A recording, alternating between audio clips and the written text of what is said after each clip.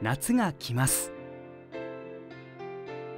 今日は秋田市のガラス工芸作家が作る涼しさを感じるガラスの器を紹介します。はじめにガラス工房鎌商鎌田翔子さんの作品です。ガラス工房鎌商は秋田市奈良山太平川の桜並木が目の前に見える場所にあります。工房のオーナー鎌田翔子さんは秋田公立美術工芸短期大学でガラス工芸を学び2005年に独立。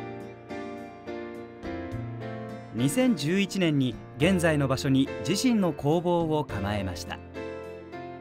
こちらはブロンズボーダープレートです。ぽってりとした白い縁取りと赤銅色の直線がガラスの透明感を際立たせます。鎌田さんはキルンワークという技法でガラス工芸を行っています。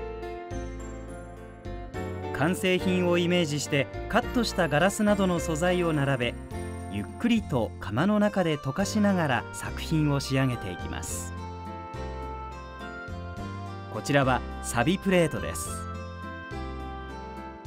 真鍮の薄い板と銀の粉がガラスの中で化学変化を起こし一つとして同じものがないユニークな色合いを作り出します。鎌田翔子です。ガラス工芸の奥深さを知っていただけたらと思います。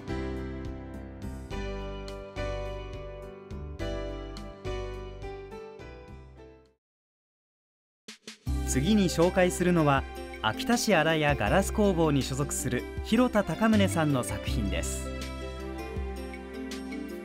秋田市新谷ガラス工房は宇州街道の面影を残す新谷表町にあります。こちらはロックグラスです。不規則な凹凸が差し込む光に揺らめきを与えます。広田さんが行う技法は吹きガラス。高温で溶かしたガラスに息を吹き込んで形を作ります。ピードが求められる作業工程の中で一瞬の見極めが作品の出来を左右します。こちらは小皿です。水面に水滴が落ちその波紋が広がっていくような形が印象的であんみつやアイスクリームなど冷たいものを乗せるのにぴったりです。広田貴宗です。ガラスの揺らめきをぜひ楽しんでみてください。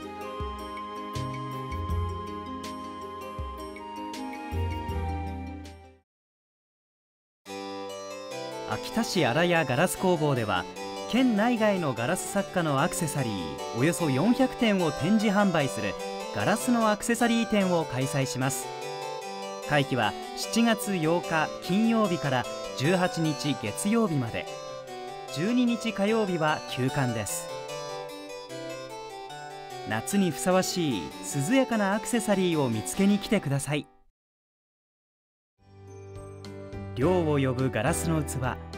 夏の暮らしに取り入れてみてはいかがですか？